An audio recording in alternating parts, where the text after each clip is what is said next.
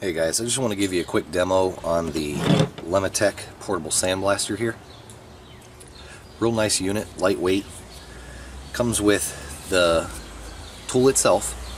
Uh, you'll notice here in the top that I have a plug. I just put a plug in there just because uh, I filled it with the sandblasting medium and I don't want it getting all over the place.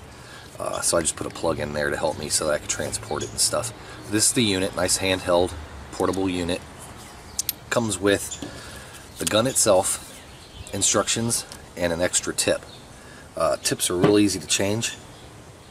Uh, it, you literally just unscrew this.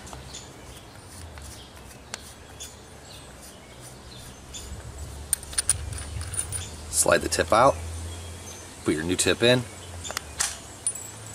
put your cap back on, and you're good to go. It's nice and lightweight. The only thing that adds weight to the system obviously would be the uh, sandblasting media. You will have to add a quarter inch uh, connector tip to it. Feels good in the hand overall. Uh, I just want to give you a couple demonstrations on what you can use it for and stuff and then we can go from there. Uh, here on the side is where you control the medium coming in or out. You can turn it on and off here. Uh, we're going to go ahead and connect it up. Now right now I'm running at 60 psi. Um, this seems to be a good area for cleaning tools and stuff like that. That's where this really excels. Uh, great for automotive work, cleaning your tools up. I have a rusty wrench here that we're going to hit. Some plexi and a mason jar. This is the stuff that I use these things for the most.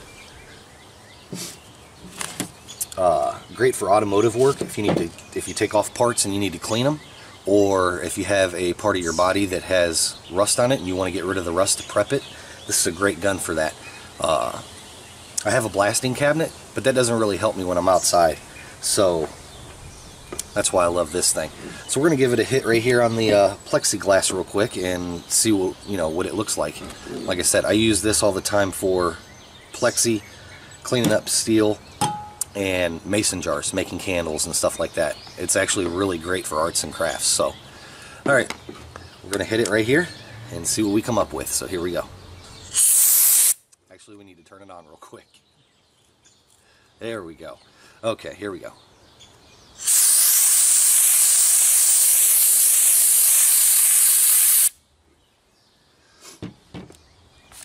As you can see there, did a real good job of blasting the material.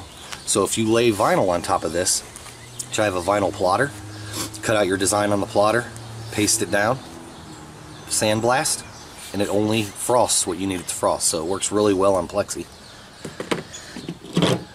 As you can see here, this is one of my wrenches. Uh, it kind of got left out in the driveway the last time I worked on my vehicle, so we're going to give it a blast here and see what we can come up with.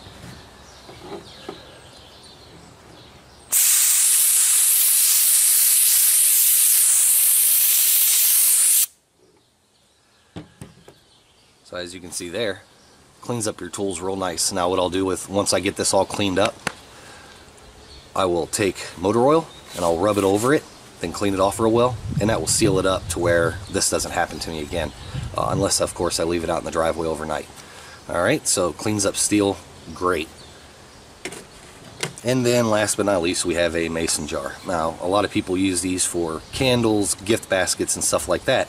The nice thing about it is if you don't want to use these dumb little labels that you can get to put on there and mark with a marker or chalk or anything like that, you can actually, like I said, take vinyl, anything like that, contact paper, cut out your design, stick it onto the unit, and then just take your sandblasting gun and give it a hit. We're going to do it right here on the side where you guys can really see it.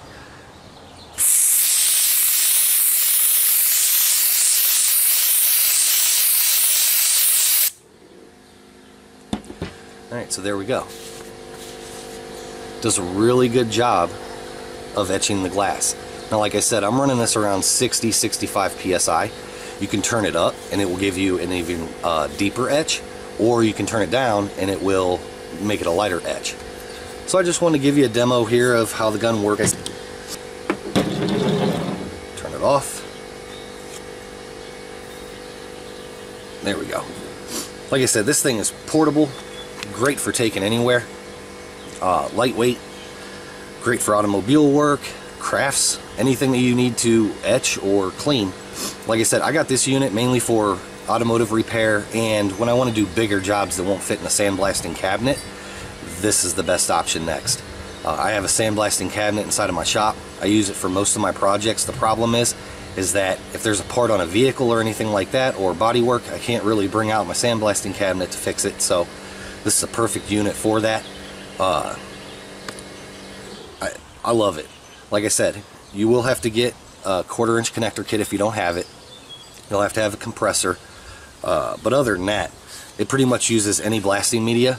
So if you have some already, you can use it inside of this gun. I'm using uh, blasting media from my cabinet, so uh, I can go back and forth with them. Love the fact that it comes with an extra tip. Uh, I'm really happy with the product. Uh, I just want to give you guys a little demonstration of how it works. Always remember to wear your safety glasses and a pair of gloves when you're working with this stuff, because if you hit your skin with this, really doesn't matter what PSI you're running at, it's going to hurt. Alright guys, well thanks for watching.